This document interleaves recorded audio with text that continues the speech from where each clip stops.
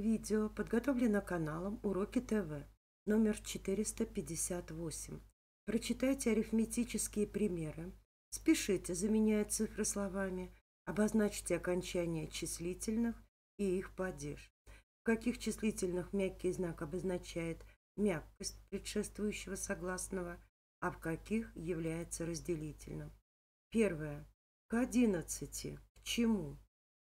Дательный падеж окончания и прибавить что 7. Окончание нулевое, падеж винительный. От 18. От чего?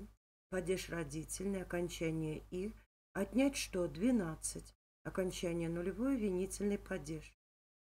Из чего? Из 18. Окончание и падеж родительный. Вычесть 6. Вычесть что? 6. Винительный падеж, нулевое окончание. К чему? 17. Дательный падеж. Прибавить что? 3. Винительный падеж окончания «и». С девятью. С чем? Творительный падеж окончания «ю». Сложить что? 10. Нулевое окончание винительный падеж. С восьмью. С чем? Творительный падеж окончания «ю». Сложить 12. Сложить что? 12. Нулевое окончание, винительный падеж. От чего? От 19. Родительный падеж, окончание и. Отнять что? 5. Винительный падеж, нулевое окончание.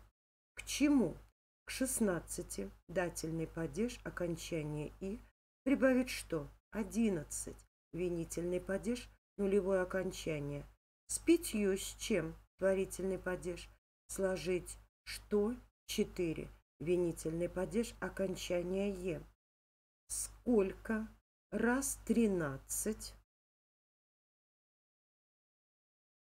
Что 13? Винительный падеж нулевое окончание содержится в чем? 39. Падеж предложный окончание в 30 и 9 и. В словах с девятью, с восьмью, с пятью мягкий знак является разделительным.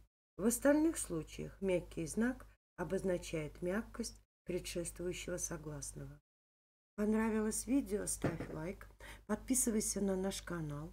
Есть предложения или пожелания? Оставляй в комментариях. Со всеми прощаюсь. До следующего видео.